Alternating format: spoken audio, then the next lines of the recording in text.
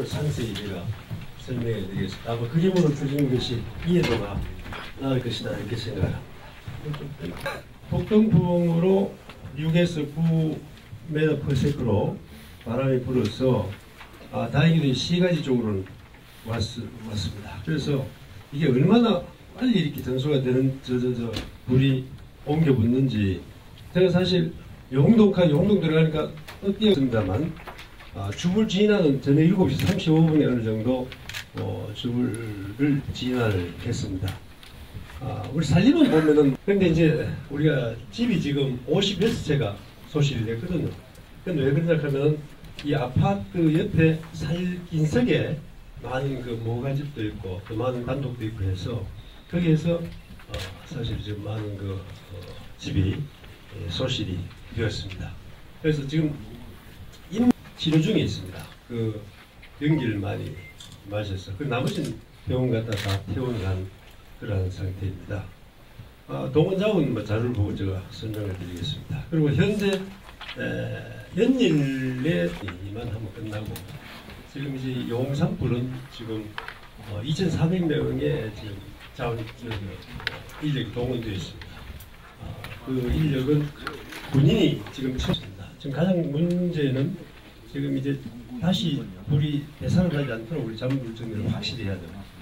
두 번째는 이재민 어, 지금 118명입니다만 빨리 지금 생활 안정을 찾아야 되고 3시 44분 됐는데 여기 38분으로 어, 정정을 해주시기 바랍니다. 그리고 영초등학교 비산에서 발화가 되었고 동주학교 1학년 생 3명이 성우병원에 안치가 되어 있고 어, 사망은 어디냐 하면 그 대동 우방 그 뒤편에 보면은 아, 그 불티가 글로 튀어가서 20층이 바로 전소가 됐습니다. 졌는데 그 바로 뒤에 보면은 골짜기 암자 하나하고 단독이 하나 있어요. 그 단독에 에, 사시는 79세 노인 한 분이 어제 에, 어, 사망을 했습니다. 이 전소된 것도 물론이고 반소 이제 뭐 2층 집이 2층만 다이 정도도 있지만 어, 내용면을 보면은 8명이 되겠습니다. 어제 에, 이, 그 우리 이재민들을 그각 어, 경로당으로 분산을 하고 응급구호 물품을 바로 지급을 했습니다. 그래서 응급구호 물품 30세트, 그다음 지사 20세트, 이불 20채 이렇게 해서 드립니다. 불편함이 그래서 어, 오늘 아침 7시에 거의 뭐 종료로 저희들 보고 어, 황해하는 그 잔불 정리를 지금 하고 있다는 말씀드리고 살림 도소방 헬기 또 어제 소방차가 어, 뭐 경주, 뭐 울진, 영천 그 불이 나서 어, 전국에 이제 소방 헬기가 좀 많이 흩쳤다는 말씀 드립니다.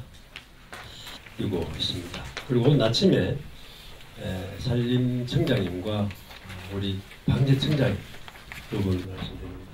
특히 우리 오시다면 시민 여러분들이 바로 우리 이웃 인근 야, 인근 공원에서 불이 나서 그 매캐한 연기가 온 시가지를 덮었습니다. 그리고 정말 밤에 불안하셨을 텐데 이 자리를 빌어서 정말 감, 어, 죄송스럽게 생각을 하고 어, 산불 관리도 어, 정말 더 철저히 해서 어, 향후 이러한 어, 산불 발생이 되지 않도록 어, 우리가 최대한 노력해야 된다고 말씀드리고 이 자리를 빌어서 매우 죄송하게 생각합니다.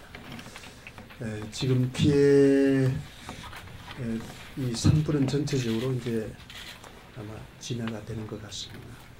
아까 보고된 대로 한 2,400명이 공무원과 해경 그리고 해병대, 경찰, 자원봉사들이 포함해서 전부 마지막 남은 산불 그 불씨를 지나가기 위해서 최선을 다하고 있는데 좋은 성과가 있을 것으로 봅니다. 중요한 것은 이제부터 피해 복구입니다. 예, 우선 중요한 것은 이재민에 대한 각별한 그 생활 안전 대책을 신속하게 지원하는 방안이라고 생각합니다. 두 번째는 이번에 불난 대부분의 지역이 도시 한복판입니다. 그래서 이것은 도시 재생이라는 관점에서 도시공원을 새롭게 조성하는 그런 신속하고 어, 이전과는 다른 발상으로 어, 복구를 진행하는 것이 필요하다. 이렇게 의견을 제시를 했습니다. 예, 그렇기 때문에 또 하나 의미는 우리 포항은 대한민국 에, 사방 에, 이 국가 사업의 제1호 시범 지역이었습니다. 그래서 많은 성과를 통해서 우리는 검수방산에 가까울 정도로 녹화를 해왔는데 오늘 이곳에서 어, 이와 같은 산불 재난이 일어났습니다.